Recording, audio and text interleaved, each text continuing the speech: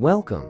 Today we're gonna conduct experiment 3.1 on factors that influence the pulse rate. The aim of this experiment is to study the factors that influence the pulse rate. We're gonna talk about how does the intensity of a physical activity influence the pulse rate. An hypothesis of this experiment is the more vigorous a physical activity, the higher the pulse rate.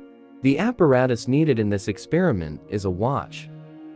Now that we have already prepared for the apparatus, it's time for us to proceed with the procedures.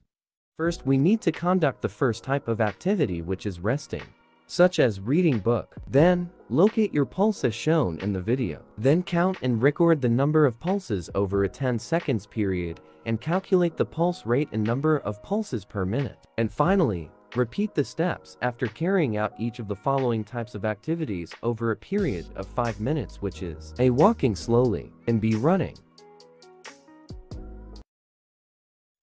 From the video above, we can form a table. Here is the results.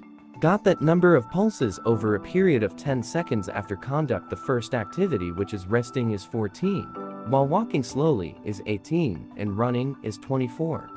Meanwhile the pulse rate after conduct the activities is 85 for resting, 90 for walking slowly, and 149 for running.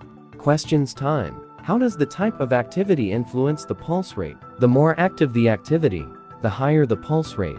How is the increase in pulse rate while carrying out vigorous activities related to the rate of oxygen intake and release of carbon dioxide? The rate of intake of oxygen and release of carbon dioxide by body cells increases while carrying out active activity.